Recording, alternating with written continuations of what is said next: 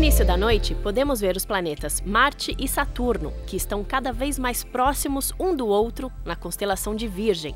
Marte fica visível até as 10h30 e Saturno até as 11 horas da noite. Antes de amanhecer, podemos ver os planetas Júpiter e Vênus a leste, na constelação do Touro. Júpiter é o primeiro a aparecer às 2h30 e à esquerda da estrela Aldebaran. Vênus surge um pouco mais tarde, às 13h45.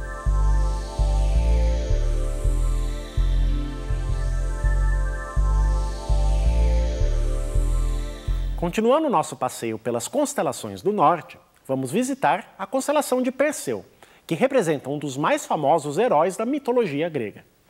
Perseu é protagonista de inúmeras aventuras.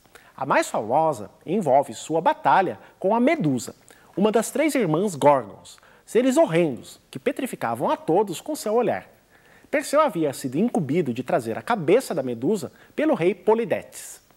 Para este combate, Perseu levou um equipamento especial, um escudo de bronze polido como espelho que ganhou da deusa Atena, uma espada de diamantes e sapatos alados que recebeu do deus Hermes, e um capacete que o tornava invisível que conseguiu com o deus Hades.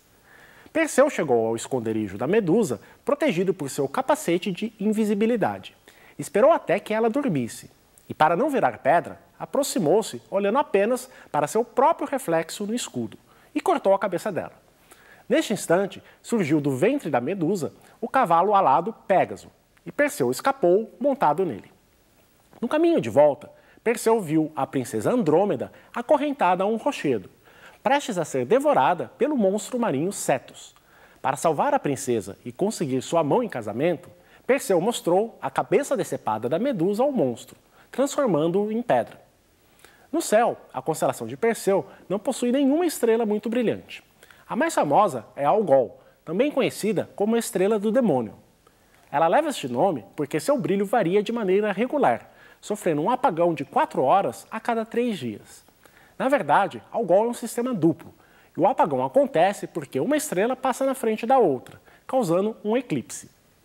A constelação de Perseu também é muito conhecida por causa de uma das mais famosas chuvas de meteoros, os Perseídeos, que acontece na semana que vem. No próximo programa, vamos saber por que esses meteoros são tão famosos e qual a melhor maneira de observá-los. Até lá e seus limpos a todos!